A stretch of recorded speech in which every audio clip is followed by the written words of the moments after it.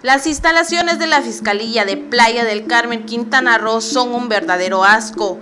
Insalubre, sucio, con baños inutilizables, tapete sanitizante seco y cucarachas muertas. Lucen en muy mal estado pese a que hoy la importancia de la higiene juega un papel fundamental ante la emergencia sanitaria que se vive a nivel mundial.